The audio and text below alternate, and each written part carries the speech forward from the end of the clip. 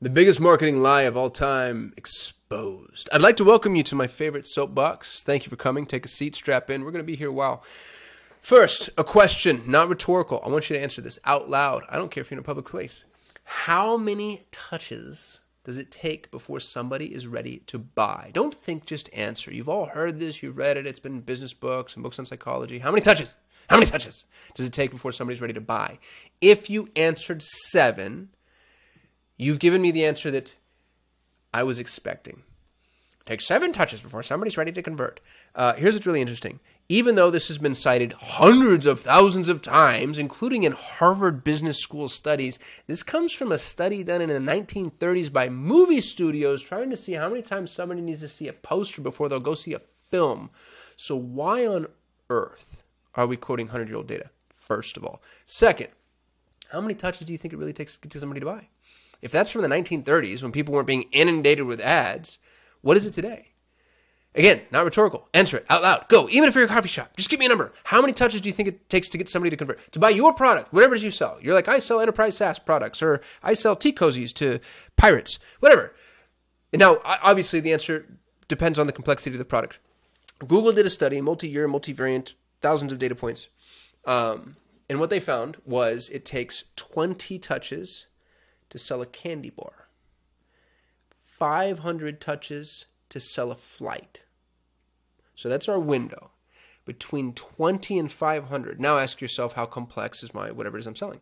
And if it's less complex than a candy bar, then it's less than 20. If it's more complex than a candy bar, and I imagine it is, then it's more than 20. Is it as complex as a flight? Is it more complex? Hiring a Google Ads agency is way more complex than booking a flight, right? 500 touches just to book a flight. Just to book a flight. Now, that means that you need to be in front of your prospects as much or more than 500 times. Did anybody else just throw up in their mouth? A little bit.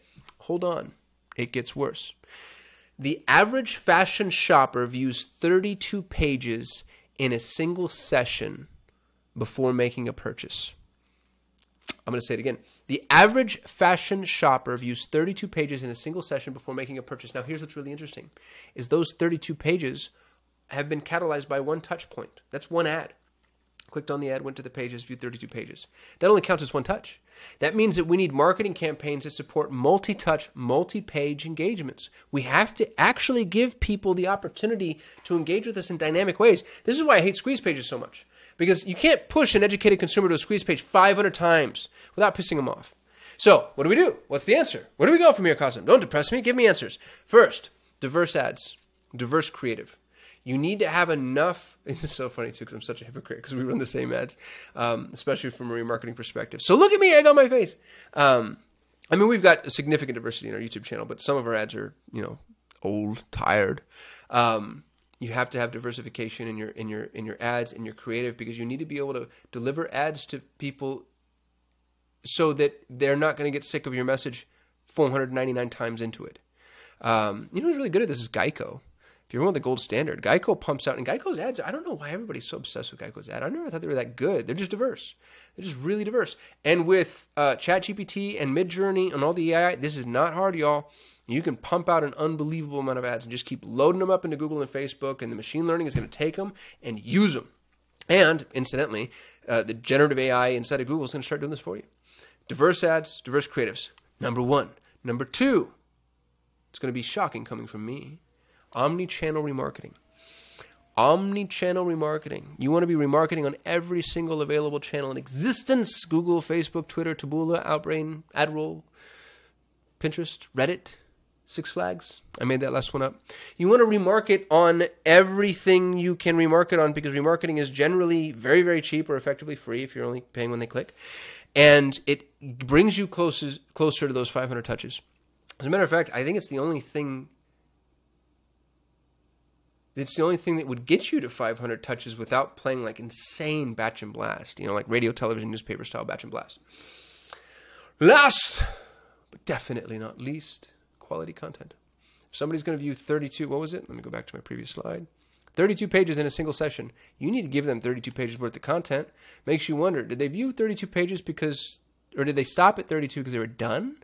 Or did they stop at 32 because that's where the average store ran out of content. Hmm. You want to make sure you have quality content. Again, with the AI tools out there, this isn't hard anymore. As a matter of fact, I think this is the one way that small brands are going to be able to differentiate themselves from small or from big brands, which is creating massively quality content.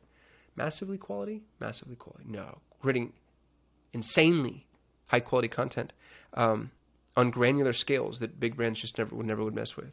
Um, so, so to just recap, diverse ads and creative, you're going to be pummeling people to get death with a message. Make sure that you have diversity, especially at the top of the funnel, especially at the top of the funnel. Um, with the omni-channel remarketing, less than 2% of your target is going to click on any given ad.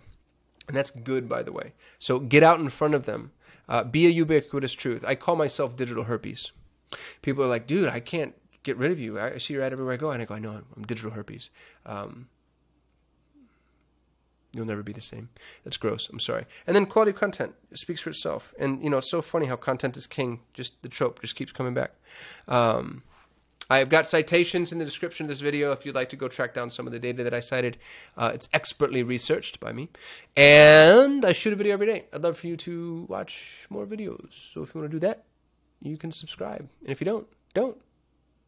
I'll see you tomorrow.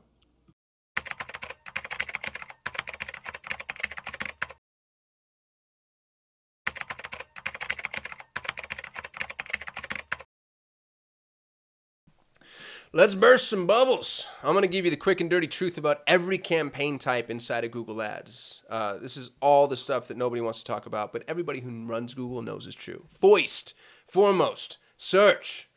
So expensive, but so effective. Here's the thing about search you're at the extreme bottom of the